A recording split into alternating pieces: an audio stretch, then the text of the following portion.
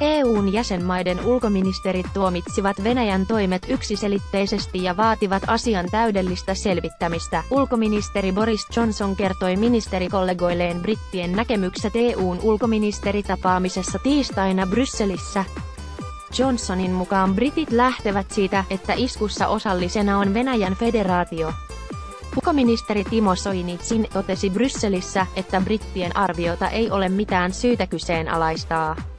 Soini korosti, miten äärimmäisen vakavasta asiasta on kyse, kun kemiallista asetta on käytetty Euroopassa, en ole tällaiseen poliittisen urani aikana törmännyt, Soini päivitteli.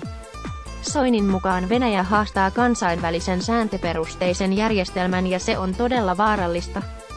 Hänestä kaikkien vastuullisten tahojen, myös Venäjän, on osallistuttava asian selvittämiseen sen sijaan, että Venäjä sarkastisilla huomautuksilla yrittää liudentaa tämän asian vakavuutta. Soinin mukaan asiassa oleellista on se, että hermomyrkky on kehitetty Neuvostoliiton aikana Neuvostoliitossa ja nyt sitä löytyy Britanniasta. Miten se sinne on kulkeutunut, siinä varmasti selvittämistä riittää, mutta luojan tahdosta se ei Salisburyin ole tullut, hän totesi.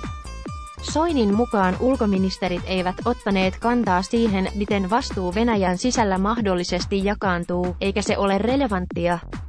Vaihtoehtoja on hänen mukaansa kaksi, joko Venäjän hallinto on vastuussa tapahtuneesta tai sitten hallinto on menettänyt kontrollin siihen, että joku voi tällaista ainetta käyttää. Molemmat ovat rankkoja skenaarioita, ulkoministerit eivät ottaneet kantaa mahdollisiin Venäjä-pakotteisiin. Soinin mukaan niistä ei edes keskusteltu. Hänen mukaansa tapaus nousee varmasti esille torstaina ja perjantaina EUn huippukokouksessa. Hän ei arvioinut huippukokouksen mahdollisia evästyksiä tai päätöksiä, heillä on ulkoministereiden yhteinen kanta selkänojanaan, Soini sanoi. Brittien ex-vakoo ja Sergei Skripal ja hänen tyttärensä Julia Skripal ovat kriittisessä tilassa Britanniassa sairaalassa. Heidät löydettiin tajuttomina kadulta, eikä ole todennäköistä, että he toipuisivat myrkkyiskusta. Hermomyrkkyn käytöstä on rikostutkinta menossa Britanniassa. Epäselvää on, tuliko myrkky Julia Skripalinin matkatavaroista Venäjältä vai onko sitä päätynyt mahdollisesti huoneiston ilmaan esimerkiksi tuuletuskanavan kautta. Let's